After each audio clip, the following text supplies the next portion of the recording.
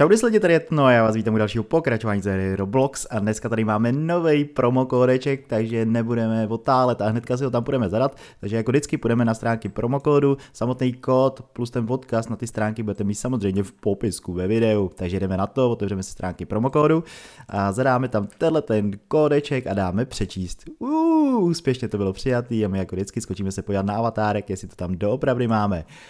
Tak, avatárek nám lidi načítá a je tady tenhle ten krásný ptáček, mi asi zmizí to vajíčko, takže můžeme říct, že se už vylíhnul ptáček z toho vajíčka, který jsem tady měl předtím. Tak šup, šup, šup, vykresli mi to. Tak je to vykreslený a kde je? On je tadyhle, tadyhle je, on je na pravý, nebo na levý, on je jedno, je prostě tadyhle na tomhle druhém ramínku.